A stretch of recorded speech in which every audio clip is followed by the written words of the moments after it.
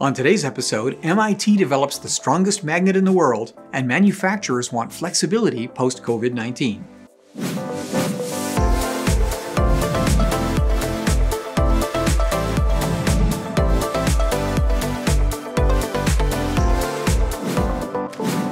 Today's episode is brought to you by Engineering.com, a globally trusted source for engineering content.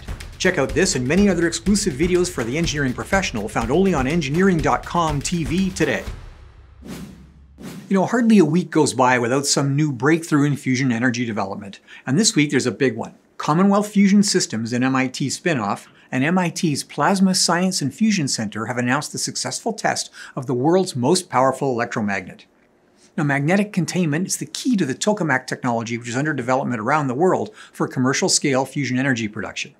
The magnet uses high temperature superconductors, and compared to other devices that attain very high field densities for short periods of time, the new development has achieved a sustained magnetic field of more than 20 teslas.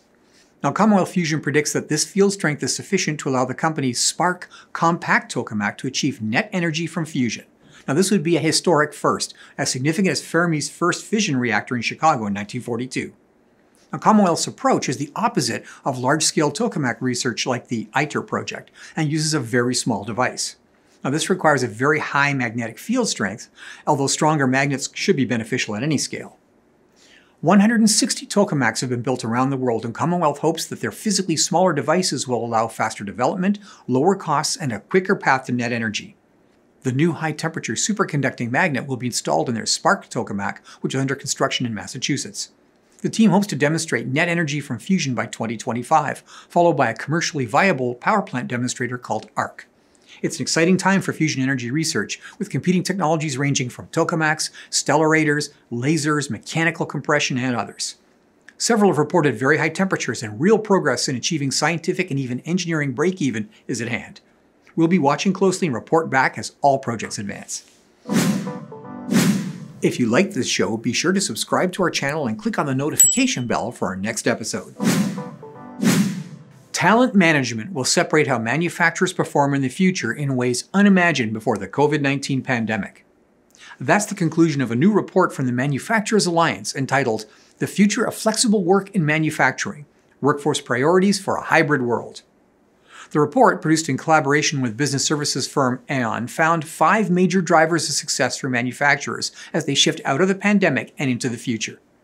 The first is talent acquisition, development, and retention. Well, they're paramount, with more than half of executives ranking talent availability as a top factor shaping the future of work. Two, the hybrid work model will prevail for salaried workers in manufacturing as 80% of companies expect to formalize a flexible remote and in person approach for employees during the next 12 months. Three, 85% of companies are empowering leaders across the organization to define their hybrid models, rejecting an entirely corporate led approach. Four, Despite important organizational learning during the pandemic, cultural resistance to change is seen as the biggest barrier to future of work strategies and priorities for 59% of manufacturing executives. And finally, five, emerging priorities such as environmental, social, and governance, that's ESG, and diversity, equity, and inclusion will likely shift to long term imperatives, as reflected in a ranking of function priorities for leaders in finance, human resources, legal, and compliance.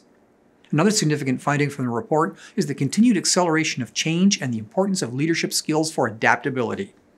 Digital skills shortages are anticipated to last for years, and talent shortages in general are now amplified by rising demand, new technologies, and other job opportunities.